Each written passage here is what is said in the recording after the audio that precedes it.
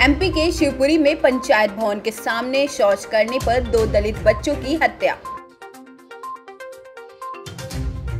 BJP का आरोप, केंद्र से 22 रुपए में खरीद कर 24 रुपए में बेचकर मुनाफा कमाना चाहती है दिल्ली सरकार। पठानकोट, श्रीनगर में एयरबेस या सुरक्षा मुख्यालय पर मजदूर बनकर हमला कर सकते हैं आतंकी। सेना की खुफिया विंग का अलर्ट। यूपी में अवैध संबंध पर सख्त हुई योगी सरकार। शादी के बाद दूसरी महिलाओं से संबंध रखने वाले पुरुषों को भुगतना पड़ेगा दंड। हरियाणा में अशोक तंवर ने हुड्डा पर साधा निशाना कहा। एक नेता ने वादे कर दिए मैनिफेस्टो का क्या मतलब? पहली खबर आपको बता दी कि मध्य प्रदेश के शिवपुरी ज़िले के बावखेड़ी गाँव में बुधवार को पंचायत भवन के सामने शौच करने के आरोप में दो दलित बच्चों को दो लोगों ने कथित तौर पर पीट पीट कर मार डाला। सिरसौद पुलिस थाने के प्रभारी निरीक्षक आर एस धाकड़ ने बताया कि ये घटना सुबह बावखेड़ी गाँव में हुई। उन्होंने बताया कि दोनों बच्चों, रोशनी 12 साल की और और अविनाश 10 साल को गंभीर चोटें आई। उन्होंने तुरंत जिला अस्पताल ले जाया गया, जहाँ डॉक्टर ने उन्हें मृत घोषित कर दिया। धाकड़ ने कहा कि आरोपियों की तलाश की जा रही है। मामले में विस्तृत जानकारी का इंतज़ार है।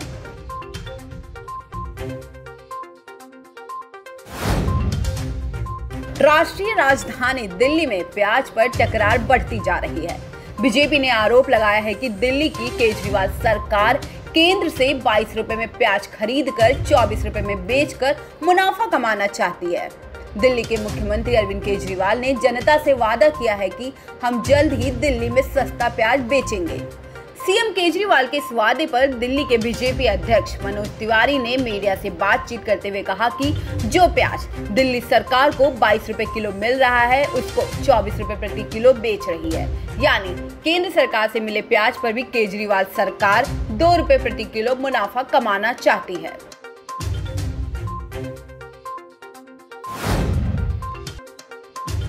पाकिस्तानी आतंकी संगठन का एक बार फिर भारत में हमलों के फिराक में है।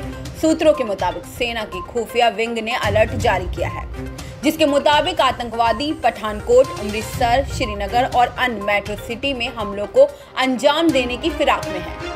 इनपुट के मुताबिक इन जगहों पर अलग अलग गुट में आतंकी पहुँचे हैं और पाँच से दस आतंकियों के होने का शक है। अलर्ट के मुताबिक आतंकवादी मजदूर के भेष में हो सकते हैं। साथ ही मिलिट्री इंजीनियरिंग सर्विस के कुछ लोगों पर भी शक है। ये लोग आतंकियों के साथ मिले हो सकते हैं। निशाने पर एयरबेस और सुरक्षा बलों का कोई बड़ा मुख्यालय है। योगी आदित्यनाथ ने अवैध संबंध पर सख्त रुख अपनाते हुए बड़ा ऐलान किया है। योगी ने कहा कि शादी के बाद दूसरी महिलाओं से संबंध रखने वाले पुरुषों को दंड भुगतना होगा। ट्रिपल तलाक की पीड़ित महिलाओं से संवाद के कार्यक्रम में योगी ने कहा कि एक शादी करके दूसरी महिला को रखने वाले हिंदू पुरुषों को भी दंडित करने का काम यूपी सरकार करेगी। इसके साथ ही उन्होंने एक और बड़ा ऐलान किया है। योगी ने कहा कि ट्रिपल तलाक से पीड़ित महिलाओं का मुकदमा सरकार लड़ेगी। चुनाव से ठीक पहले राज कांग्रेस की कमान गंवाने के बाद अशोक तंवर ने बागी तेवर अख्तियार कर लिए हैं।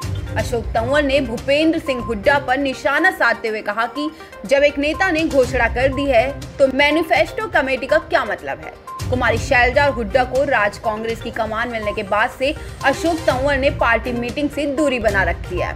पूरी तरह से बगावत के मूड में नज़र आ रहे अशोक तंवर मैनिफेस्टो कमेटी की मीटिंग में नहीं पहुँचे। उन्होंने कहा, जब एक नेता सारे वादे खुद ही कर चुका है तो मुझे नहीं लगता कि किसी मीटिंग में जाना ज़रूरी है।